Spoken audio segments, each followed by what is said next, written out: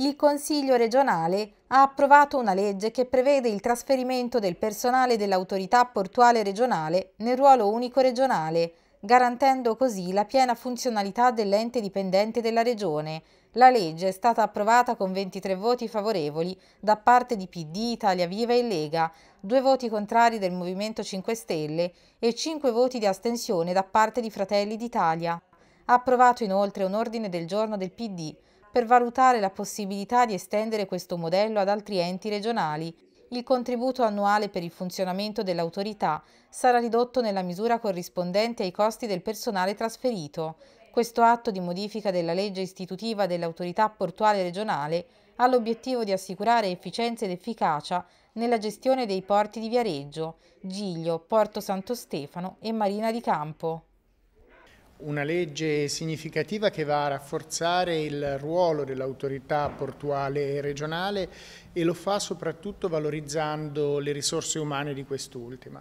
La scelta del Consiglio regionale è stata quella di trasferire il personale attualmente in dotazione dell'autorità portuale regionale al ruolo generale della Regione Toscana, con tutti gli adempimenti conseguenti che da questo derivano, compreso la, il trasferimento del fondo del salario accessorio dall'autorità portuale regionale a quello della Regione Toscana. Si tratta quindi di un atto importante che vuole modificare l'attuale assetto del personale dell'autorità portuale, fatto essenzialmente da dipendenti propri e da, e da soggetti in distacco in comando da parte di altri enti, con personale che direttamente è riconducibile alla Regione Toscana. Un'altra significativa modifica che con questa legge si fa alla struttura dell'autorità portuale è il riconoscimento del ruolo del suo segretario eh, generale che viene individuato quale organo dell'autorità portuale e anche quale rappresentante legale della stessa. Il gruppo della Lega eh, in modo coerente con quello che ha sempre sostenuto ha votato positivamente l'atto che riguarda il personale dell'autorità portuale e la figura del segretario dell'autorità portuale che è particolarmente importante, ma allo stesso modo abbiamo colto l'occasione per evidenziare alcuni elementi di contraddizione. Il primo è che eh, a fronte di un voto importante che raccoglie anche il voto positivo della Lega su un atto come quello che abbiamo discusso oggi in Consiglio regionale, beh, abbiamo un'autorità portuale che è ancora in fase di stallo, perché ha un commissario che ancora non è segretario, e questo succede perché continua a essere in atto una contrapposizione fra la regione toscana guidata dal PD e il comune di Viareggio guidato dalla ex PD. Da ex PD e eh, peraltro all'orizzonte non ci sono buone notizie perché c'è un contenzioso pendente, perché se ne parlerà casomai a metà di gennaio e quindi questo ci sembra un elemento di contraddizione. Ulteriormente contraddittorio, permettetemi la battuta, alla luce del fatto che da pochi giorni Regione Toscana e Comune di Viareggio hanno siglato un, un protocollo d'intesa che ha riguardato in larga parte il porto di Viareggio, ma che all'attenzione delle carte ha evidenziato da una parte il fatto che entrambi gli enti riconoscono nell'autorità portuale un punto di riferimento centrale, cosa che noi condividiamo, l'abbiamo sempre condiviso, ma che va in contraddizione con quello che ha sempre detto il sindaco di Viareggio, almeno negli ultimi due anni, e cioè che l'autorità portuale in realtà andava probabilmente dismessa. E quindi prendiamo atto che il sindaco di Viareggio ha cambiato opinione. Siamo contenti perché non la pensavamo come lui. Dall'altra, in merito a una infrastruttura estremamente importante come è l'asse di penetrazione, e beh, dalle carte del protocollo mi pare di capire che l'intesa c'è, ma si fa molto riferimento a tutte le normative, anche ambientali, anche urbanistiche, che debbano essere rispettate, che quindi, secondo me, qualche dubbio sull'effettiva realizzazione a breve di quella infrastruttura, malgrado la propaganda portata avanti dal Comune di Viareggio e dall'amministrazione di Viareggio la pone. E questo lo dico con dispiacere perché noi della Lega siamo sempre stati a favore dell'asse di penetrazione a sud dello stadio e quindi auspicavamo e auspichiamo che sia realizzato magari anche meglio di come l'amministrazione di Regina pensa di farlo, e cioè con un passaggio completo delle autovetture e del traffico in modo da eh, dire, liberare il centro cittadino e non esclusivamente per le imbarcazioni come la recente delibera del Comune di Viareggio. Però al di là di questa particolarità prendiamo atto che il percorso probabilmente è ancora lungo. Mi auguro di sbagliare perché il nostro intento è che si realizzi una sinergia nell'interesse dei cittadini, delle imprese, delle attività che insistono al porto, dell'intera comunità portuale fra le amministrazioni come dovrebbe essere, ma eh, purtroppo le contraddizioni eh, in qualche modo emergono lo stesso. Allora, la proposta di legge di oggi non sconvolge il ruolo dell'autorità portuale, motivo per cui non aveva senso da parte nostra votare contro, perché noi crediamo nel ruolo e nel lavoro e facciamo i complimenti a chi fino ad oggi ha gestito questa autorità. Non abbiamo votato a favore perché c'è un passaggio che non ci convince, che è quello che va a trasformare la figura del segretario generale in un ente interno all'autorità portuale. Siccome il segretario generale è una figura che continua a mantenere un rapporto di lavoro con l'autorità portuale che a nostro modo di vedere è molto simile a un rapporto di lavoro subordinato, ci lascia il dubbio una figura che al tempo stesso sia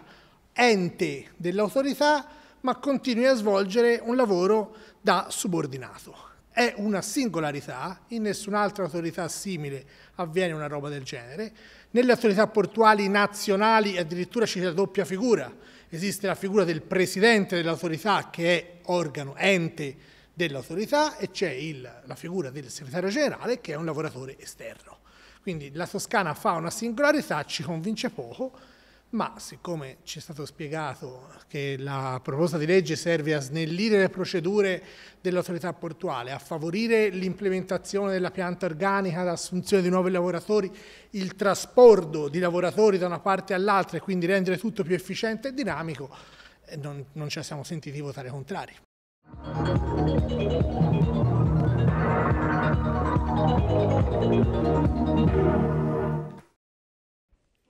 Il Consiglio regionale ha approvato all'unanimità un atto presentato da Irene Galletti del Movimento 5 Stelle e sottoscritto anche da PD, Italia Viva, Lega e Fratelli d'Italia. L'atto solleva la questione dell'indirizzo di residenza fittizio per le donne vittime di violenza, al fine di tutelarne la sicurezza, e impegna la Giunta ad attivarsi presso il Parlamento e la Conferenza Stato-Regioni per introdurre quanto prima una normativa nazionale al riguardo. La tutela e la difesa delle donne vittime di ogni forma di violenza è un tema che ogni giorno merita la nostra attenzione perché all'interno di quelle convenzioni e di quei protocolli che fanno sì che si possano tutelare appunto le vittime eh, è necessario fare attenzione a ogni singolo tassello e ce n'è uno che può essere eh, messo in campo dalle amministrazioni con questo strumento eh, amministrativo che è appunto la residenza fittizia che altro non è che un modo per permettere a queste persone di non essere identificate, localizzate da quelli che sono stati o che sono i loro aggressori. Per fare questo abbiamo chiesto che eh, il Parlamento nazionale eh, si adoperi perché riesca a fare una normativa quadro che metta in condizione tutti i comuni di poter costituire appunto questo che è un indirizzo fittizio appunto non esistente ma che sia in grado comunque di essere utilizzato dalla vittima, dalle donne per poter adempiere a tutte le pratiche amministrative e burocratiche che necessitano appunto di un indirizzo ma che non sia riconoscibile. Questo lo dobbiamo all'interno di questo percorso che anche la Regione Toscana ha fortemente voluto per cercare di eh, far sì che la difesa delle donne, delle vittime sia sempre più efficace e più effettiva questo deve avvenire a tutti i livelli istituzionali e soprattutto con la coesione di tutte le forze politiche perché questa è una battaglia di civiltà. In realtà è un atto proposto dalla collega Galletti del Movimento 5 Stelle che noi del Partito Democratico abbiamo ritenuto dover emendare e rafforzare nell'impegnativa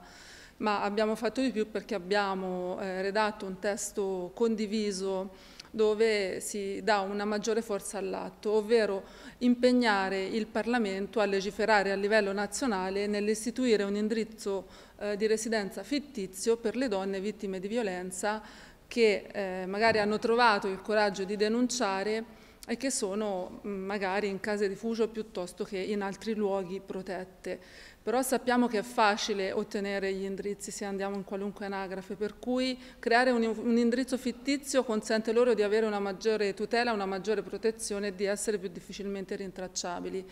Per cui insomma, sono anche soddisfatta perché ha trovato l'unanimità dell'intero Consiglio regionale ed è un altro piccolo passo, un altro piccolo tassello nella rete di protezione appunto per eh, le donne vittime di violenza. Siamo in un periodo in cui siamo particolarmente scossi eh, da fatti brutali e sanguinosi che non si fermano, però quelli di cui parliamo più spesso sono appunto i femminicidi, che è eh, l'estremità eh, assoluta di quello che accade. Ci sono tante donne che subiscono quotidianamente violenza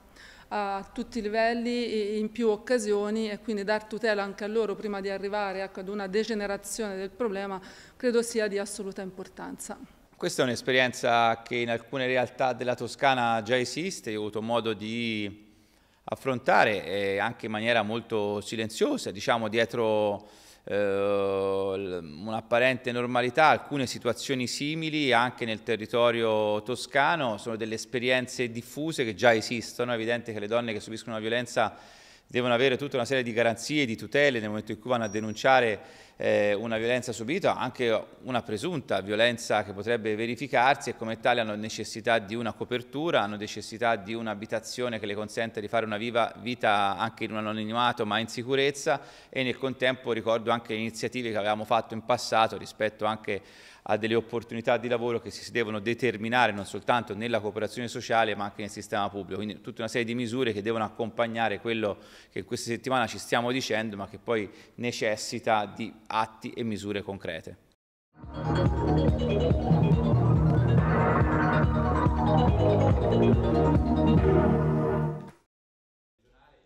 La ventisettesima edizione del Toscana Gospel Festival è stata presentata in conferenza stampa al Media Center Sassoli di Palazzo del Pegaso. La rassegna musicale itinerante si aprirà il 15 dicembre a Montalcino e si chiuderà il 28 dicembre a Cortona. Quest'anno il festival rende omaggio ad una delle personalità più importanti del Novecento, il reverendo Martin Luther King, che con la sua vita, le sue azioni e le sue parole ha cambiato profondamente la concezione di libertà e diritti civili. Allora, intanto eh, 27 non è una, un, un, traguardo banale, eh, dal 1996 che siamo in giro per la Toscana, abbiamo portato oltre 3.000 artisti, abbiamo fatto centinaia di concerti, decine di migliaia di persone seguono. Quest'anno la 27esima edizione vede coinvolte 12 città della Toscana, di tante province, da Arezzo ad Agliana, Massa Cozzile, Montalcino, Montepulciano, Cortona, San Giovanni Valdarno, eh, Torrita di Siena, sono tante piccole e grandi città che ci ospitano in bellissimi teatri, chiese. La filosofia del nostro festival è sempre quella di portare gruppi dagli Stati Uniti, quindi di favorire eh, la conoscenza di questa profonda tradizione degli Stati Uniti che è la musica gospel afroamericana. Siamo contenti perché il sostegno della Regione e del Consolato degli Stati Uniti e di tante amministrazioni fa sì che ormai questo sia diventato il festival più importante sicuramente d'Italia ma probabilmente fra i più importanti d'Europa. Quest'anno abbiamo un qualcosa in più che ci lega a, proprio a questo spirito gospel americano, afroamericano che è la celebrazione dei 60 anni del famoso discorso del Lincoln Memorial del reverendo Martin Luther King. Abbiamo deciso, come tutti gli anni, troviamo qualche spunto per legarci alla tradizione, quest'anno ci sembrava importante, questo è il famoso discorso di I have a dream, che tanto ha significato e sta ancora significando per il mondo dei diritti civili, dell'eguaglianza, della, della giustizia sociale. Quindi per, nel celebrare questo discorso di cui abbiamo mutuato il titolo anche per la nostra edizione del festival, abbiamo anche attivato una collaborazione di cui siamo veramente orgogliosi con la Fondazione King di, di Atlanta e avremo un messaggio della vedova del fratello di Edward di Martin Luther King, erano due reverendi, anche lui morto negli anni 60 eh, e quindi questo ci, ci rende particolarmente orgogliosi. Ma si consolida una relazione importante fra la Toscana e gli Stati Uniti d'America e soprattutto una iniziativa di valenza veramente internazionale che porta la Toscana e il Consiglio regionale a promuovere una iniziativa che si svolgerà nell'ambito dei comuni toscani 12 le tappe, inizieremo da Montalcino e non solo, ovviamente il Toscana Gospel Festival che si rinnova ormai la 27esima edizione e trova quest'anno anche l'onore di ospitare nel Palazzo del Consiglio regionale la console americana qui e questo per noi è un motivo di grande orgoglio e di grande soddisfazione, un'iniziativa che ormai vitalizza il mese di dicembre in tante realtà eh, che si avvicinano alle festività natalizie e anche una forma di promozione ovviamente di, na di, natura culturale ma soprattutto di relazione fra dei popoli che come sempre hanno dimostrato di essere dalla stessa parte della storia, questo per noi è, è importante perché consolida una relazione e il Consiglio regionale della Toscana oggi ospita questa conferenza stampa a dimostrazione di questo grande legame.